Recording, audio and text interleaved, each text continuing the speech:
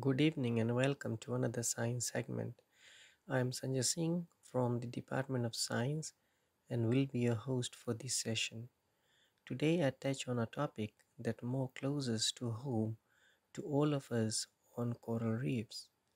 Being an islander or a citizen of Fiji Islands, I look to the ocean as a provider, protector, but most importantly, a priceless treasure to not only me but many. Probably one of the most prominent ocean resources present in Fiji and the world is the coral reefs. Actually, coral reefs cover less than 0.1% of the seabed, and you may be thinking that this percentage is relatively little in comparison to the overall size of the ocean. But coral reefs are home to 25% of the world's marine species, many of which we consume on a daily basis. Moreover, it acts as a nesting ground and provides protection from large predators. It is also fascinating to know that the largest living structure in the world is the coral reef, stretching for 1,429 miles over an area of approximately 183,000 square miles.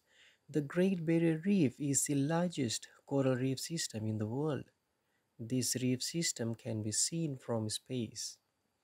Apart from this, coral reefs are a significant ecosystem that supports a diversity of human needs, such as generating income for local people through tourism, fishing, and recreational activities. About 0.5 billion people across the globe depend on these reefs, and due to COVID 19, this number has dramatically increased.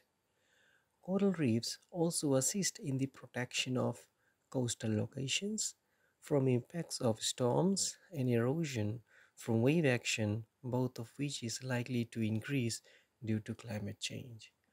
Also, coral reefs contain a variety of organisms that are vital towards the development of medicine.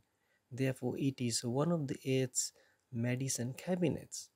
Coral reef plants and animals are important sources of new medicines being developed to treat cancer, arthritis, human bacterial infections, Alzheimer's disease, and heart disease. Many medicinal compounds are yet to be explored. Just imagine a groundbreaking discovery is waiting to be discovered. But this depends on the survival of coral reefs. In many parts of the world, coral reefs are a critical part of cultural heritage and various traditions are linked to these reefs. Coral bleaching is a serious global concern. It is caused by increasing seawater temperature. When water is too warm, corals will expel the algae zooxanthellae, living in their tissues, causing the coral to turn completely white. One of the most devastating coral bleaching events took place in Kiribati, where approximately 95% of their coral system was lost in 2015 to 2016 period. Fiji Islands in the year 2000 suffered a severe bleaching event and since then has experienced at least three other events. The last one being in 2016 which saw 30 to 60% of the coral killed in the shallow reefs along the coral coast. Pacific Islanders contribute the least damage to their reefs, and there is still a need for public awareness on how they can save their corals from further bleaching. One way to combat coral bleaching is by reducing the global carbon emissions in order to combat the impacts of climate change. Therefore, it is essential to raise awareness and implement measures for the protection and management of coral reefs.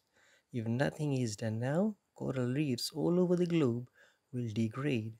The services it once provided will be reduced or eliminated, possibly forever. That's all for today's segment.